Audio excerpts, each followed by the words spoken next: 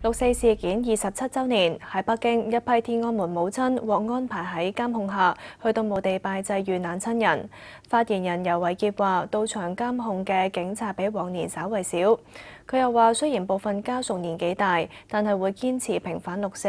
更加會拒絕中國政府嘅打壓。政府是用用那個就是，呃，遺忘，讓大家去忘掉。或者是用封锁，用那什么，这都是都是不可能的。二十七年了，我们会继续的努力，坚持下按坚持下去，按照我们的要求嘛，三项诉求，要求那个真相问责，那个赔偿的三项诉求，我们还会继续努力坚持下去。